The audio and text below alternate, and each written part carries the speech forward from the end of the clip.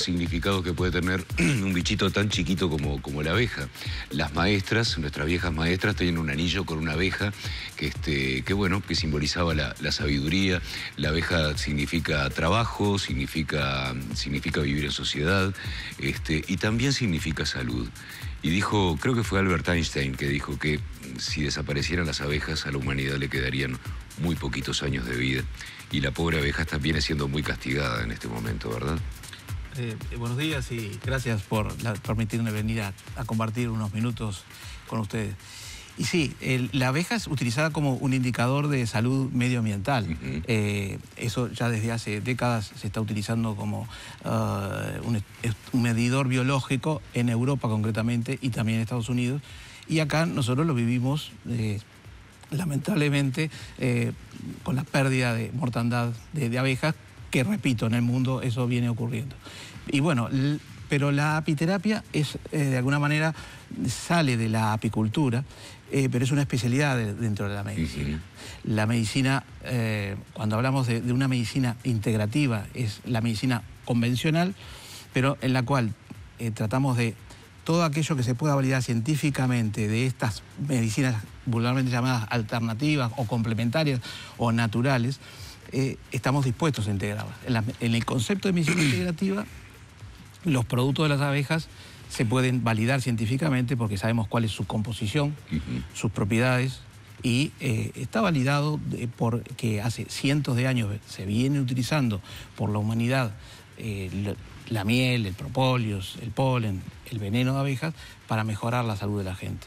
En los últimos años se le ha puesto mucho más investigación científica, digamos, para mm, eh, saber de qué manera actúan y cómo, cómo, cómo, mejoran la salud de la gente. Ahora, doctor, convengamos en que la, la mm, está dejando de ser una, está dejando de ser considerada dentro de las medicinas alternativas porque las personas naturalmente están dejando un poco el medicamento encapsulado y están queriendo ir hacia lo natural, teniendo en cuenta que muchos de estos medicamentos encapsulados vienen de la naturaleza.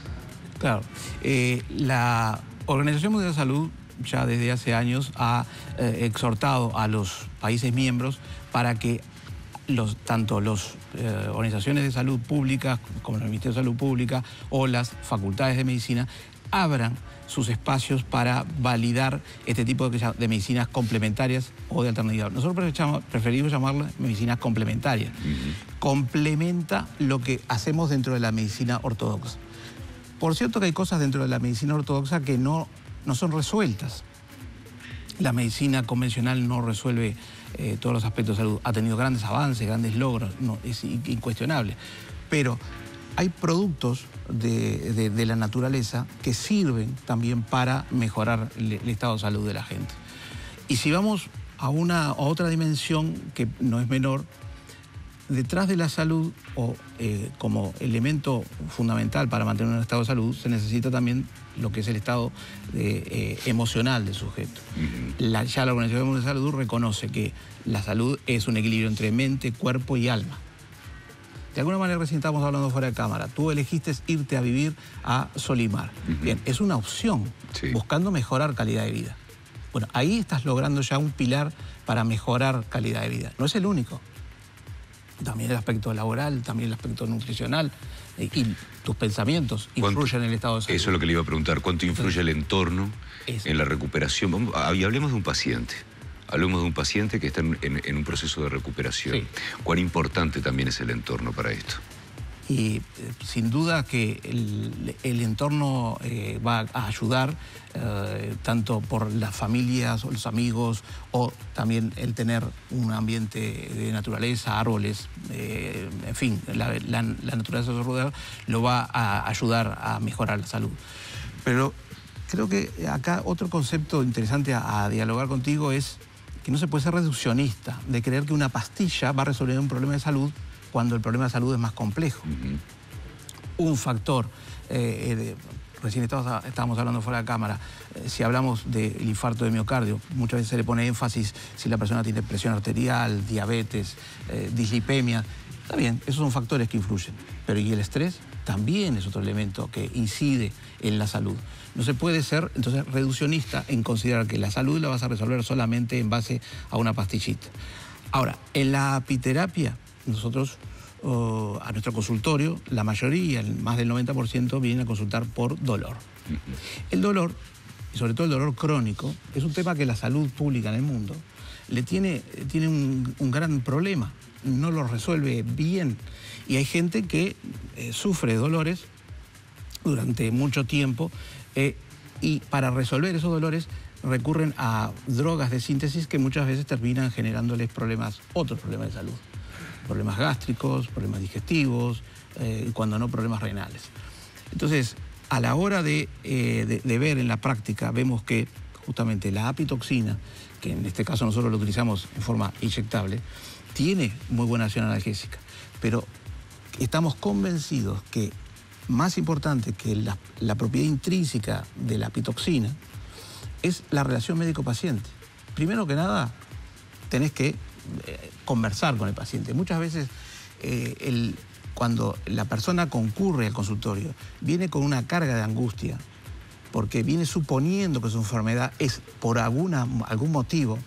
Muchos pacientes vienen diciendo, tengo un problema de columna. Eso ya está internalizando y está fijando de, tal eh, fuerza ese dolor. Cuando gran parte de los dolores que vienen por raquialgias, dolores en la espalda, no están vinculadas necesariamente a un problema de columna, sino que puede haber algo en la columna, sí, pero no necesariamente eso explica el dolor, a veces son las tensiones de la vida diaria. Cuando el paciente tú lo escuchás, eh, lo dejas que abra algunas válvulas de escape y saca tensiones, eso ya lo va ayudando. Los productos de las abejas nos ayudan a aliviar el dolor que el paciente viene buscando eso, pero también la conversación, el poner arriba la mesa temas que lo están preocupando, eso también va a contribuir en, el manejo de la salud.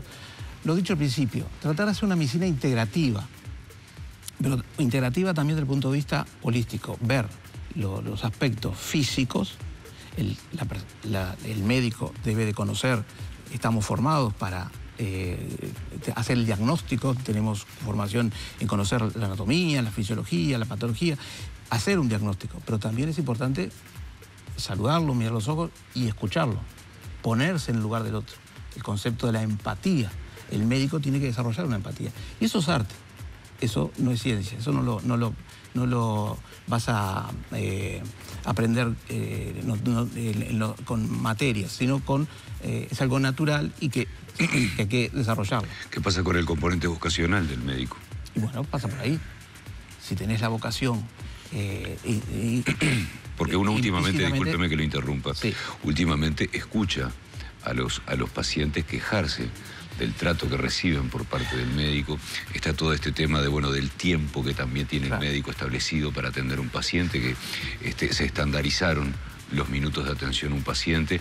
Eso que usted dice, doctor, es totalmente cierto. Cuando uno va a ver al médico, este, se está entregando literalmente a un salvador. Claro, sí.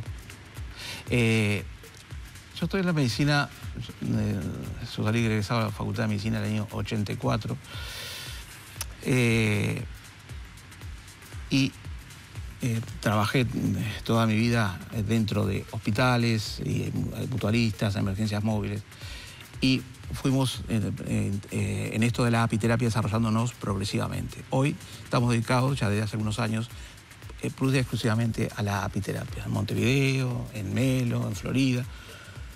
Y el común de la gente nos comenta mucha gente viene justamente eh, eh, eh, mm, disgustado por la falta de atención del sistema de salud, especialistas, porque lamentablemente algunos colegas, esto no se puede generalizar, pero algunos colegas no, ponen atención a esto, ponen más atención al, estudio paraclínico, al, fármaco.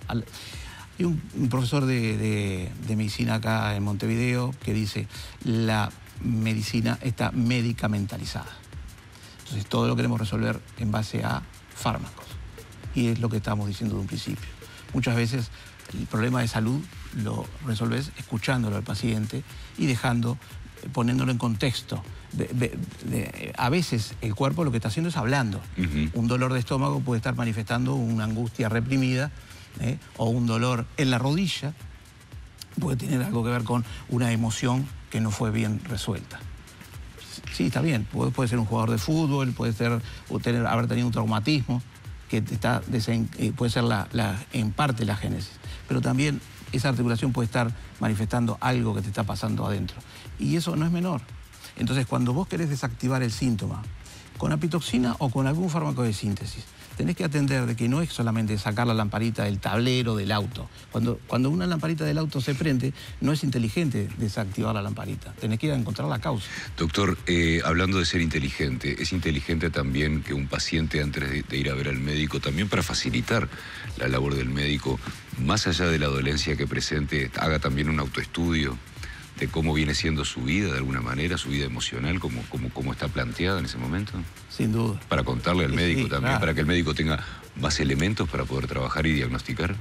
Eh, lo que pasa es que en, el mundo que estamos viviendo y la gente vive cada vez más estresada, corriendo de un lado para el otro, eh, mucho celular, muchas conexiones eh, y menos comunicación con el prójimo vamos perdiendo cosas que tienen que ver con el enriquecimiento de la vida, que son aspectos de la relación humana, filosóficamente hablando. Eh, tú vivís en Solimar y vos notás la diferencia que hay de la gente, cómo se comporta allí a cómo se comporta en Montevideo. Yo vivo todas las semanas ese cambio. Trabajo en Montevideo, en la consulta lunes, martes y miércoles, atendemos 30, 35 pacientes, pero cuando viajo a Melo, eso me obliga a mí a bajar las revoluciones de tal manera, porque la gente en el interior tiene otra dinámica, se comunican entre sí, hablan más entre ellos. Está bueno, la vida, cuando un ser humano lo que trata de hacer es mejorar como persona. Y de esa manera, tú mejorando como persona, vas a, contribuir a que la sociedad en general mejore. Pero tenés que conocerte a ti mismo. Pero eso ya es un planteo que viene desde la época de los griegos. ¿eh? Eh, conoce a ti mismo eh, para eh, poder eh, avanzar. Y la salud tiene que ver con, entonces, un equilibrio entre mente, cuerpo y alma. Hay que hacer cosas que te lleven, te alejen de, los, de las situaciones enojosas que te hagan molestar y hacer cosas que te hagan sentirte mejor. Tú me decías recién que trabajabas mucho con, la, con tu jardín, podando árboles. Bueno, eso te permite tener contacto con la naturaleza. El contacto con la naturaleza contribuye a mejorar el estado de salud. ¿Qué pasa con nuestra gente que vive en las ciudades como esta, que a lo sumo lo que pueden tener es una plantita? Es muy útil tener una plantita. En Estados Unidos, por ejemplo, en la Universidad de Harvard hicieron un estudio. Eh, eh, tomaron grupos de, fueron a, casas de salud y le entregaron a ancianos una plantita para que lo cuidara. Este ejemplo fue hecho en la Universidad de Harvard y está publicado. Se le entregó a gran cantidad de, personas que estaban internadas en casa de salud una simple plantita. Le dijeron, hace, cuídela. A otro grupo de personas internadas se le entregó una plantita. Le dijeron, esta plantita es suya, pero se lo van a cuidar el personal eh, de enfermería. Pasado un tiempo, se hicieron estudios, la sobrevida del grupo que había cuidado la plantita era superior al otro. El consumo de antibióticos y analgésicos era menor en este grupo que había cuidado la plantita, solamente por el hecho de darle que tuviera una eh, función. Nosotros a nuestros pacientes les recomendamos que se pongan en contacto con la naturaleza. Y si no lo pueden hacer, por lo menos que tengan una planta. O pintar también. Es otra manera. Escuchar música. Abstraerse. Claro, pero pero disfrutar, tratar de desarrollar los sentidos en el sentido más amplio, eh, tener una alimentación correcta, balanceada. Entonces, fíjate de todo lo que estamos hablando y poco y nada hablamos de la apiterapia. Tú me decías eh, problemas respiratorios. Para los problemas respiratorios, el propóleo es un muy buen recurso. El propóleo son resinas que las abejas recogen de los árboles. El propóleo es muy buen inmunoestimulante. Ayer concurrió a nuestra consulta un paciente con VIH. Eh, bueno, nosotros a, esos pacientes les recomendamos que consuman polen y propóleos porque mejora su estado general. Para los deportistas también es muy útil. En este caso el consumo de polen de abejas, porque actúa como revitalizante, les da energía. Y así podemos hablar de, patologías concretas como pueden ser las fibromialgias, que en nuestra medicina les da poco resultado, eh, pero en la fibromialgia con este concepto integrativo eh, eh, se les ayuda mucho a mejorar la calidad de vida. Doctor Walter Fierro, médico apiterapeuta, muchísimas gracias por esta visita y por conversar con nosotros. Gracias a ti, Cairo, y al programa por la posibilidad de conversar con la audiencia de ustedes, que es muy grande. Seguimos